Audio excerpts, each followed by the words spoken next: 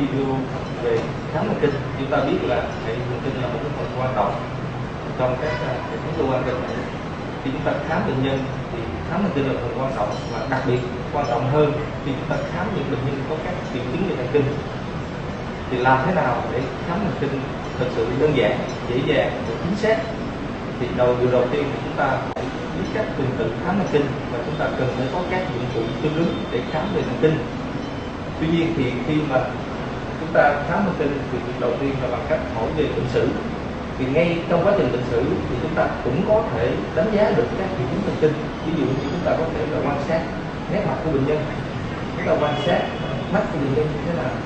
Chúng ta quan sát là các mi mắt. Chúng ta quan sát là các cử động mắt của bệnh nhân. Khi đang nói chuyện với người, thì chúng ta quan sát cái nét mặt của bệnh nhân.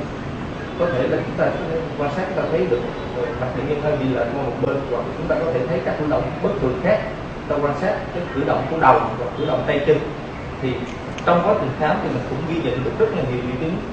Và đặc biệt là nếu mà bệnh nhân bước đầu tiên mới bước vào, từ phòng khám bước vào thì chúng ta có thể quan sát được dáng đi của bệnh nhân. Và trong quá trình nói nói chuyện thì chúng ta cũng có thể là nghe được cái giọng nói và chúng ta cũng có thể đánh giá được các biểu hiện về thần kinh của bệnh nhân. Thì sau khi một quá trình khám xong, thì cái điều quan trọng đối với mà bác sĩ mà khám về bệnh thần kinh thì chúng tôi yêu cầu ít nhất là phải trả lời được hai câu hỏi. Cái câu hỏi thứ nhất là vị trí của tổn thương nó nằm ở chỗ nào? Và điểm thứ hai là nguyên nhân gì gây ra? Thì để từ đó chúng ta có thể định hướng à, chúng ta có thể dùng các bệnh lâm sàng khác để tìm được nguyên nhân hơn và chúng ta cho cái chiến lược điều trị tốt hơn. Tuần tự khám về các triệu chứng thần kinh thì thông thường chúng ta sẽ khám về các tuần tự như thế này. Chúng ta sẽ đánh giá về các trạng thái về tâm thần. Chúng ta gọi là mental status examination và sau đó chúng ta sẽ đánh giá về vấn đề ngôn ngữ. Sau đó chúng ta sẽ khám ờ, 12 đôi dây thần kinh sọ và tiếp tục chúng ta khám các dấu hiệu mạch não. Chúng ta sẽ khám đến hệ vận động bao gồm các ờ, chúng ta sẽ đánh giá về ờ, sức cơ, trương lực cơ, phản xạ nguyên cơ. Chúng ta sẽ đánh giá hệ thống cảm giác. Chúng ta sẽ đánh giá hệ thống tiểu não tiền đình và chúng ta sẽ quan sát dáng bộ của bệnh nhân cuối cùng tổng hợp lại tất cả các triệu chứng đó để chúng ta trả lời ra được hai câu hỏi là vị trí tổn thương nằm ở đâu và nguyên nhân có thể là gì. Và đặc biệt, trong cái phần video khám này, chúng tôi có một cái phần khám dành riêng cho những bệnh nhân hôn mê. Tại vì chúng ta biết là bệnh nhân hôn mê, thật sự ra các những tuần tự khám thì có thể chúng ta sẽ không thực hiện được. Và chúng ta cần một kỹ năng đặc biệt hoặc là, và những chọn lọc đặc biệt để khi chúng ta khám bệnh nhân hôn mê. Thì phần này thì chúng tôi để tách riêng ra và sau khi à, quý đồng nghiệp và các em sinh viên chúng ta xem cái video về cái phần khám thực tế chung thì chúng ta sẽ tham khảo thêm về phần khám à, ở bệnh nhân hôn mê. Thì chúng ta đánh giá bệnh nhân hôn mê thực sự nó dễ dàng hơn và chính xác hơn. Bộ dụng cụ khám chúng ta nên sắp xếp theo thứ tự. Tuần tự khám thì nó sẽ dễ dàng hơn. Ví dụ như chúng ta khám ở dây số 1 thì chúng ta cần hai à, à, cái lọ mà có mùi ví dụ như đây chúng ta có cái lọ có mùi sô cô la. Hoặc là chúng ta có thể thêm kem đánh răng hoặc là xà bông để cảm nhận. Chúng ta khám dây số 2 ta cần một cái bảng đánh giá thị lực. Như thế này nếu không thì chúng ta có thể cho bệnh nhân tập báo bình thường ở khoảng cách là nửa mét. Ta khám à, bằng tử thì chúng ta cần cây điện pin. Soi đáy mắt thì chúng ta cần đèn soi đáy mắt. Chúng ta nên có cây đè lưỡi để chúng ta khám họng và thật sự là những dịch vụ khám này cũng tương đối khá đầy đủ. Nhưng mà trong trường hợp mà chúng ta thiếu một số dịch vụ thì cách đơn giản nhất chúng ta sử dụng ba cái cây đè lưỡi. Thì đó là một cây đè lưỡi thì chúng ta sẽ bẻ ra ta bẻ đôi ra. Để chúng ta khám phần nhọn này, chúng ta sẽ khám về cảm giác đau. Phần cùi thì chúng ta sẽ khám cảm giác không đau và một phần cây đề lưỡi chúng ta sẽ làm khám một số các phản xạ như phản xạ do bụng do điều. Chúng ta khám dấu hiệu Babinski cây đề lưỡi khác thì chúng ta dùng để khám họng khám về phần à, vận động thì chúng ta cần cái bút phản xạ. Bút phản xạ như thế này. Thực ra chúng ta có nhiều loại bút phản xạ. Về phần khám à, cảm giác để khám cảm giác nóng lạnh thì chúng ta cần hai lọ. Nó thường nó giống nhau. Chúng ta một phần chúng ta đổ nước nóng phần chúng ta đổ nước lạnh. Để cảm giác đau thì chúng ta có thể dùng cây đè lưỡi như thường à, trước chúng ta thấy hoặc là chúng ta có dụng cụ chuyên biệt như thế này. Để khám cảm giác và rung âm hoa chúng ta cần cái rung âm hoa 128 từ số 128 và trong một số trường hợp thì chúng ta sẽ có những dụng cụ khám đặc biệt. Ví dụ như thế này. Là để khám cảm giác sờ thì chúng ta cũng nên có cái bông gòn. Và phần bông gòn này thì chúng ta có thể là chúng ta xe lại, chúng ta làm phản xạ giác mạc cho nhân thì để trong thực hành lâm sàng ngày thì thường sẽ, chúng ta thấy là sinh viên chỉ cần một số cái dụng cụ như thế này là cũng được khám được. Cũng không cần thiết những dụng cụ mà đặc hiệu như những dụng cụ như thế này hoặc cần một số cây đà lửa là đủ là để nó để khám cho thực hành lâm sàng hàng ngày.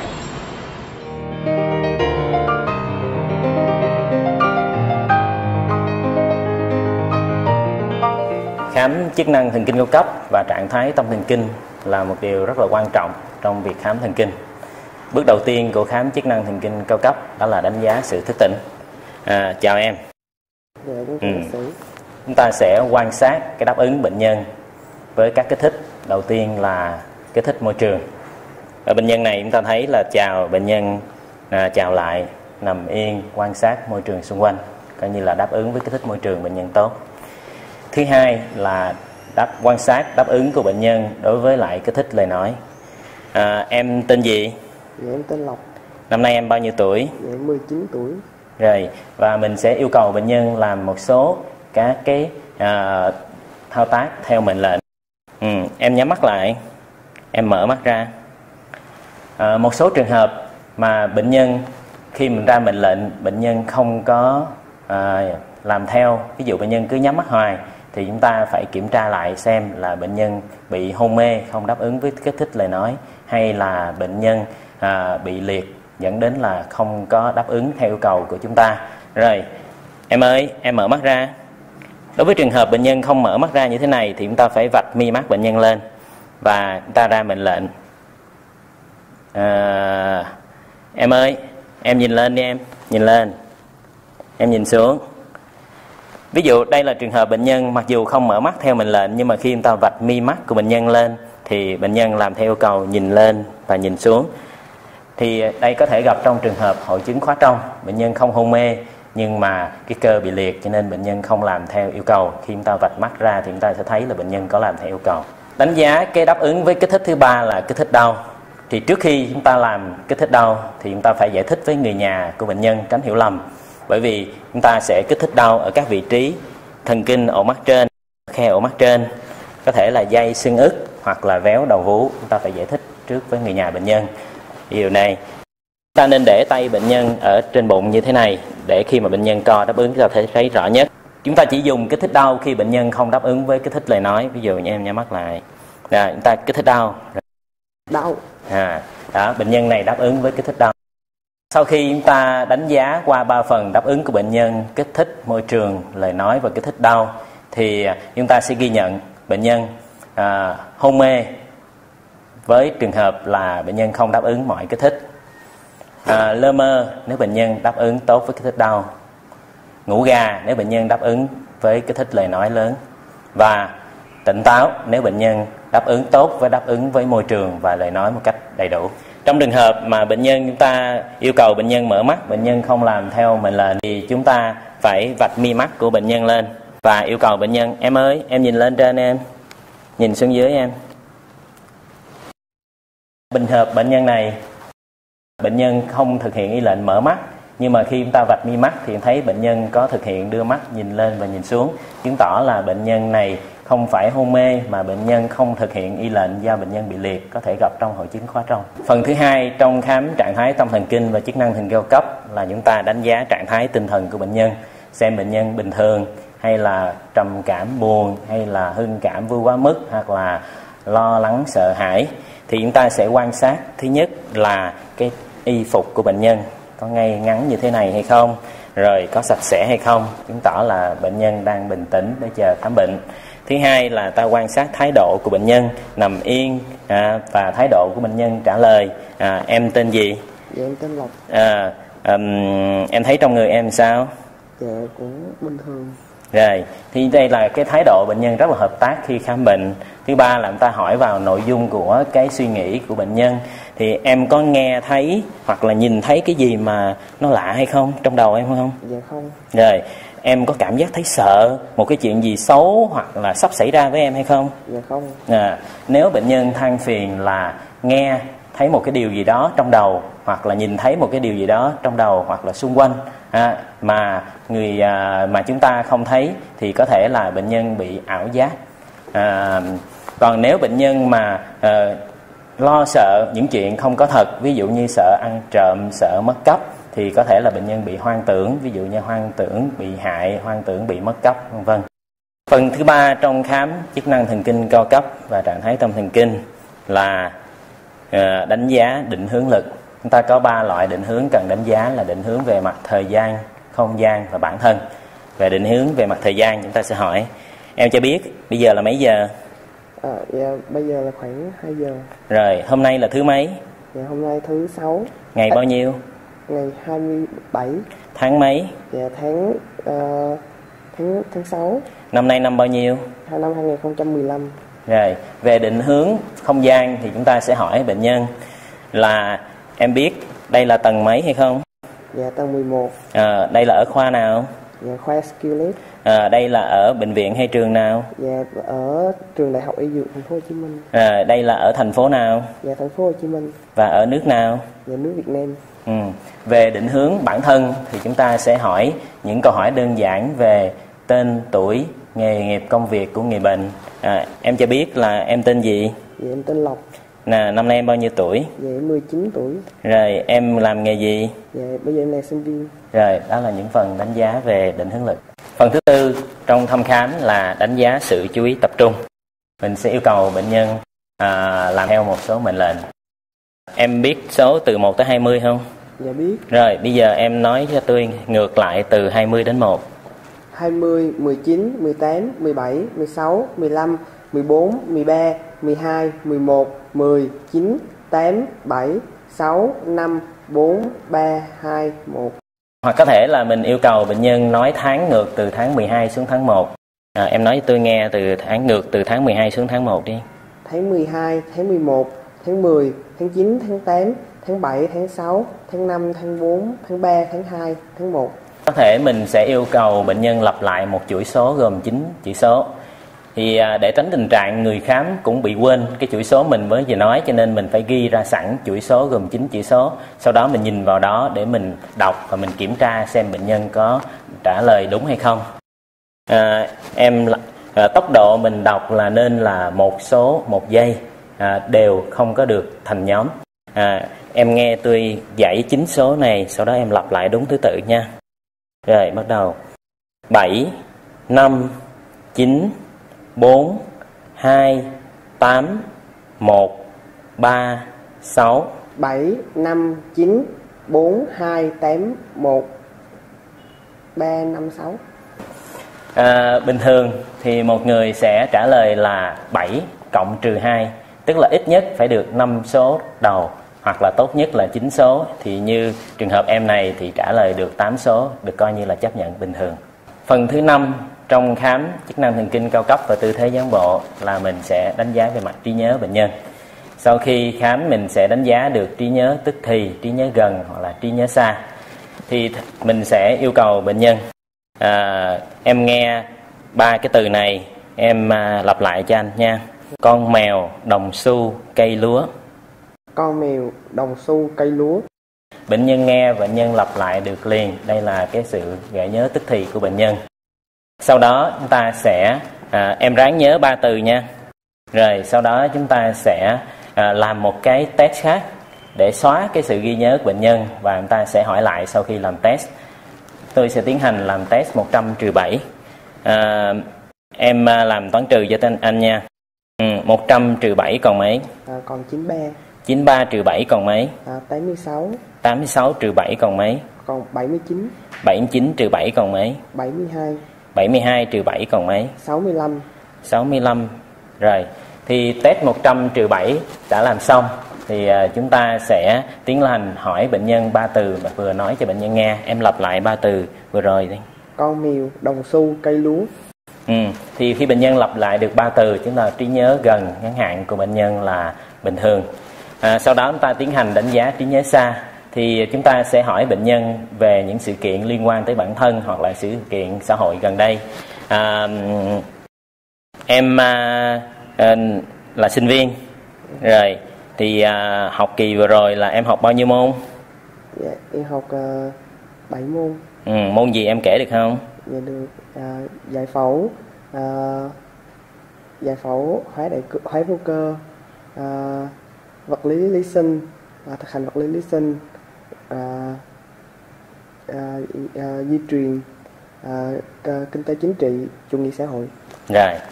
Hoặc là mình có thể hỏi bệnh nhân thêm về những sự kiện xã hội gần đây hoặc là những sự kiện xã hội xa. Ví dụ em biết ngày 30 tháng 4 là ngày gì không? à, là ngày giải phóng miền Nam Ngày 2 tháng 9 là ngày gì? và ngày quốc khánh nước Việt Nam Rồi, như vậy là chúng ta đánh giá xong trí nhớ xa.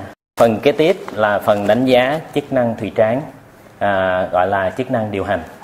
Thì à, chúng ta sẽ đánh giá các cái chức năng như sau. Nhất là sự khởi đầu của suy nghĩ, sự trừu tượng hóa, sự ước đoán và sự kiểm soát các cái hành động. Đầu tiên về sự khởi đầu thì chúng ta sẽ yêu cầu bệnh nhân à, à, làm test trôi chảy từ. Em ơi, bây giờ em nói cho anh nghe trong một phút nha tất cả những từ không phải là danh từ riêng của người hoặc là à, tên của thành phố vân vân à, mà bắt đầu bằng chữ M. Thì khi nào tôi nói bắt đầu thì em nói nha. Rồi bắt đầu. Me minh mận à, móc à, mai mốt à, à, mạnh à, à, mảnh mỏng môi à, à, mơ à, à, mèo à, mù à,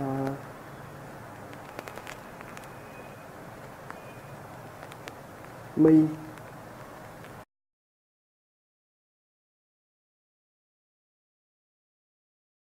Mũ. Mèo. À, mèo lặp lại rồi. Đã hết giờ thì à, bình thường à, một người sẽ nói được trung bình trên 15 từ là bình thường. Thì em này nói được là 18 từ coi như là bình thường. Phần thứ hai của thăm khám đó là cái khả năng trừu tượng hóa. Em ơi em à, giải thích cho tôi cái từ à, à, cái cái câu gần mực thì đen gần đèn thì sáng Dạ câu đó thì nó nghĩa đen của nó là à, và uh, mực thì có màu đen và điền thì nó nói về một nơi sáng sủa.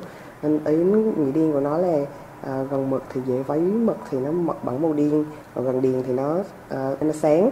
Còn về nghĩa bóng thì ý nó nói là nếu như mình sống trong một môi trường gần à, mực à, trong môi trường mà xấu thì mình cũng sẽ bị à, xấu theo môi trường đó. Còn à, nếu như mình sống trong một môi trường à, tốt hơn à, mọi thứ đều đẹp thì mình sẽ cũng à, có tính cách về à, phản ứng với giống như môi trường giống như vậy.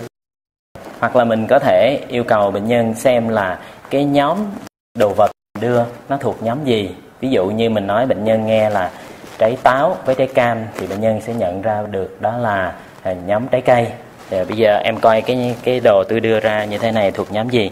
Bàn và ghế. À, dụng cụ gia đình áo khoác và quần dài. Và trang phục. Đó là xong phần khám cái sự trừu tượng. Cái đến là mình khám cái sự khả năng ước đoán của người bệnh.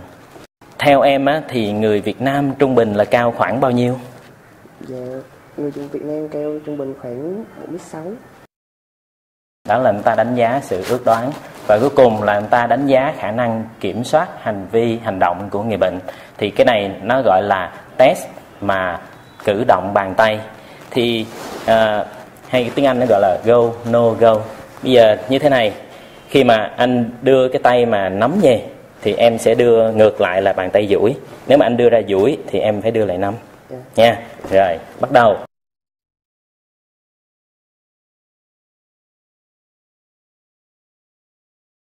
À, chức năng kế tiếp là chức năng của bán cầu ưu thế thường là bán cầu bên trái.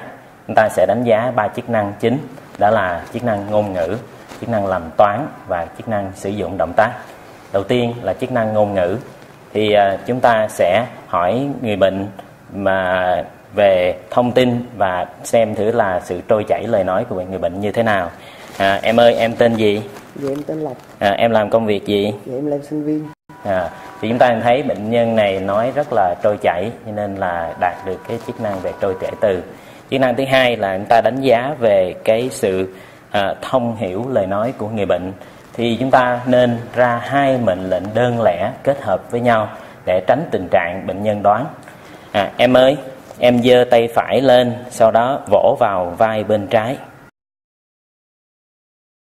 Rồi, và đánh giá chức năng thứ ba là chúng ta sẽ đánh giá về khả năng định danh của à, đồ vật.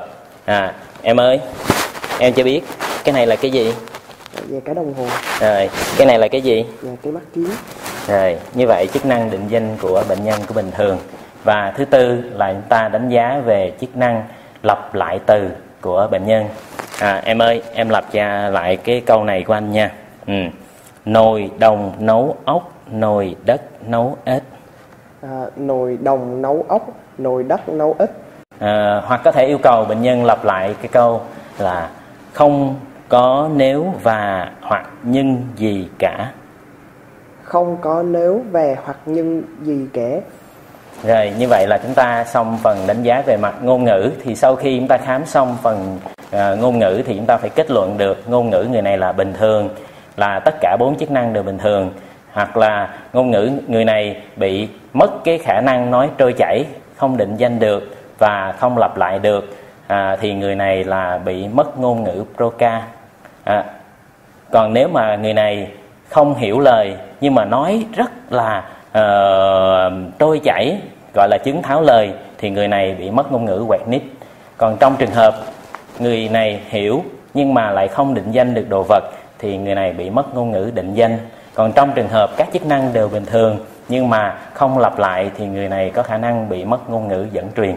Phần thứ hai trong khám cái chức năng của bán cầu ưu thế đó là à, đánh giá khả năng làm toán của bệnh nhân. Thì ở đây chúng ta có thể làm test 100 trừ 7 như hồi nãy.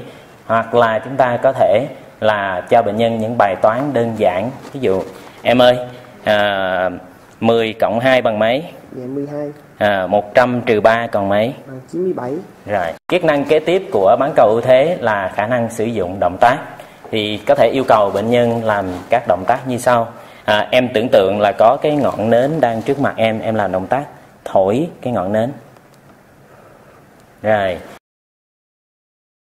Em tưởng tượng là trong tay của em đang cầm cái bấm móng tay em làm động tác cắt móng tay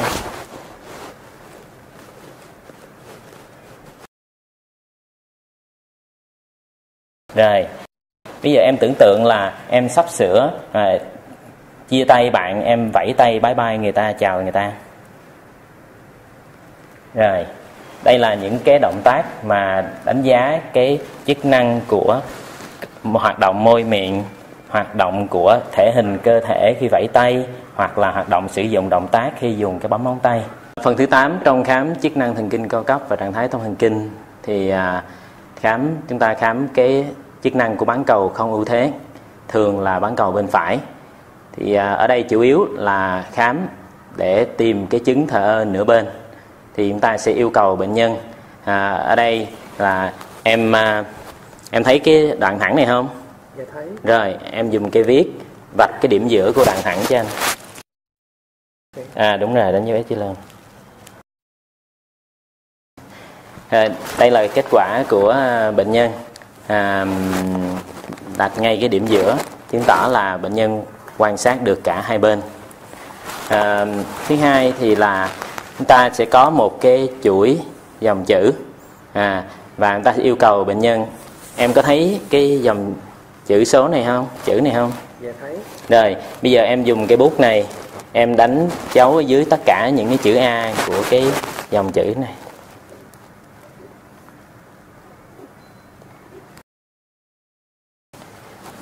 à, kế tiếp thì à, chúng ta có thể yêu cầu bệnh nhân là kể tên tất cả những đồ vật ở trong phòng và cái người khám sẽ vạch lấy một tờ giấy vạch ra à, à, và đánh dấu chính giữa là bệnh nhân. Xong rồi yêu cầu bệnh nhân em kể tên tất cả đồ vật trong phòng cho anh.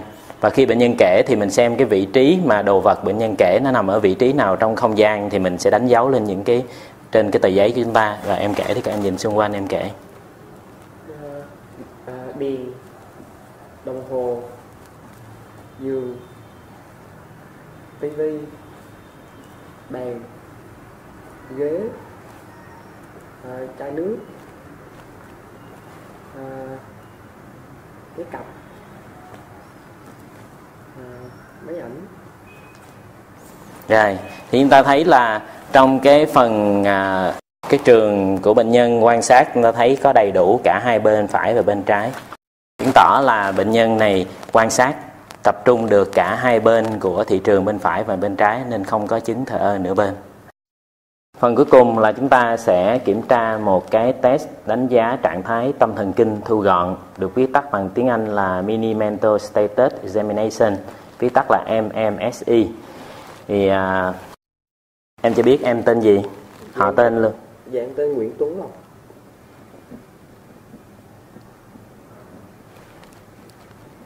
Rồi, em năm nay bao nhiêu tuổi? dạ em 19 tuổi Rồi, em là học đại học đúng không? dạ, Rồi, số điện thoại liên hệ ở nhà là của em là số mấy? dạ 01672 Rồi, à, em cho biết hôm nay là thứ mấy? dạ thứ bảy Ngày bao nhiêu? ngày 27 Tháng mấy? tháng 6 Năm nay năm mấy? năm 2015 Bây giờ là mấy giờ? bây giờ là khoảng ờ, 3 giờ kiếm năm Rồi, em đang ở chỗ này là bệnh viện hay trường gì? dạ tại trường đại học y dược Rồi, em đang ở khoa nào đây? dạ khoa skillet Rồi, em đang ở thành phố nào đây? dạ thành phố Hồ Chí Minh Em đang ở miền nào đây?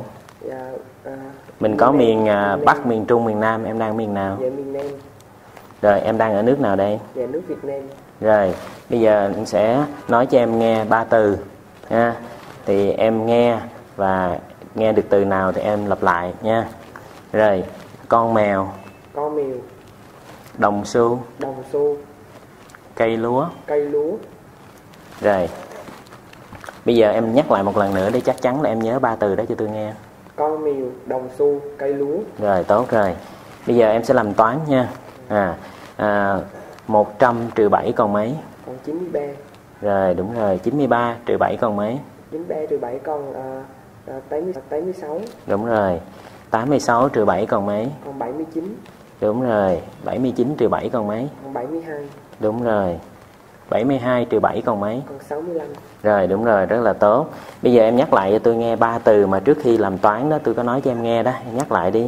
con mèo đồng xu cây lúa Rồi, rất là tốt. Bây giờ tôi muốn hỏi em về một số tên của đồ vật nha. Em biết cái này là cái gì không? dạ cái bút Rồi, cái này là cái gì không? dạ cái đồng hồ Rồi, đúng rồi, rất là tốt. Rồi, giờ em nhắc lại cho anh nghe cái cụm từ này nha. Ừ. Bắt đầu ha. Không có nếu và hoặc nhưng gì cả.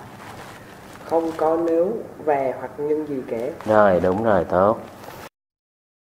Rồi, bây giờ em làm theo cái yêu cầu của anh nha. Ừ. Em à, à, cầm tờ giấy này bằng tay phải, dùng hai tay gấp tờ giấy này lại làm đôi, rồi trả lại cho anh bằng tay trái. Nha, bắt đầu làm.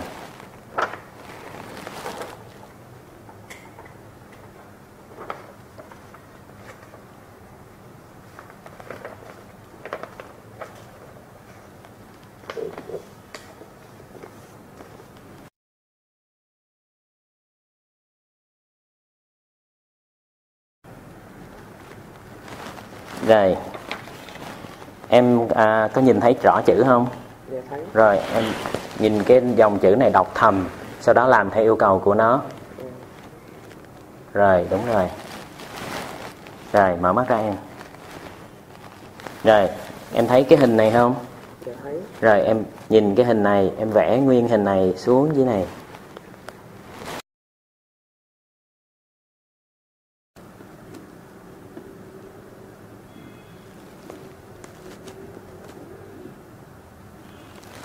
Rồi bây giờ em viết cho anh một câu ngắn gọn có chủ ngữ vị ngữ đọc vô dễ hiểu.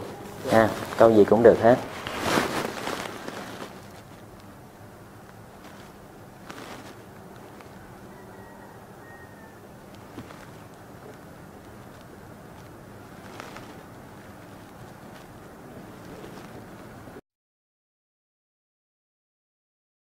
Um, bệnh nhân này làm rất là tốt à, tuy nhiên khi mà à, trong cái test mà à, hiểu ngôn ngữ nói thì thay vì cầm bằng tay phải thì bệnh nhân đưa hai tay ra cầm cho nên bị mất một điểm ở phần à, hiểu ngôn ngữ nói. À, về à, hình vẽ của bệnh nhân thì bệnh nhân vẽ đạt được hai hình ngũ giác nhau nhau ở hai cái góc nhọn này là đã đạt điểm cho nên chúng ta cho điểm của hình ngũ giác giao nhau. Về câu viết thì bệnh nhân viết là em sống ở thành phố Hồ Chí Minh có đầy đủ chủ ngữ vị ngữ đọc vô dễ hiểu nên bệnh nhân này được điểm phần chữ viết. Tóm lại bệnh nhân này làm hết đầy đủ tất cả các phần trừ mất một điểm chỗ hiểu ngôn ngữ nói. Có thể là do em này rung à, nên tổng cộng bệnh nhân được 29 trên 30 đây là kết quả MMSI rất là tốt.